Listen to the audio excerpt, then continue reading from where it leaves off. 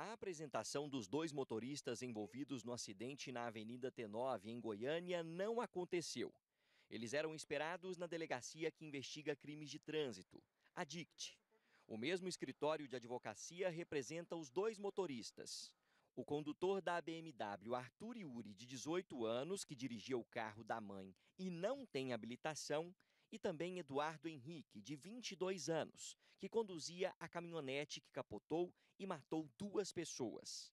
A caminhonete Hilux está no nome de Eduardo. Ambos moram no mesmo condomínio de luxo em Goiânia.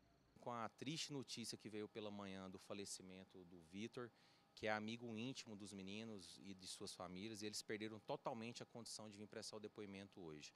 Levamos isso a conhecimento da autoridade policial competente, que compreendeu a situação e remarcou, ainda vai remarcar, na verdade, ainda para essa semana, o depoimento dos meninos. É importante esclarecer também que, em momento algum, os jovens deixaram de prestar socorro ou evadiram do local do acidente. Gostaríamos de esclarecer que o condutor da caminhonete, este foi socorrido encaminhado para o hospital e o condutor da BMW, este ficou no local do acidente por mais de uma hora, o que pode ser comprovado pelas câmeras de segurança. O delegado que investiga o caso aceitou a justificativa.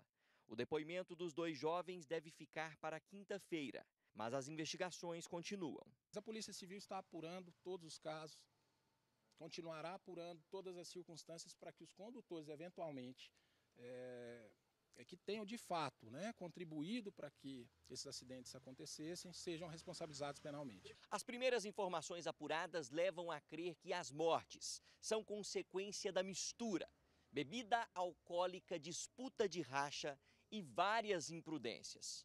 Pelos levantamentos iniciais, os carros podem ter atingido velocidade superior a 120 km por hora em plena Avenida T9. A caminhonete conduzida por Eduardo Henrique teria mais de 13 mil reais em débitos de infrações e multas. Testemunhas e pessoas envolvidas no acidente devem ser ouvidas.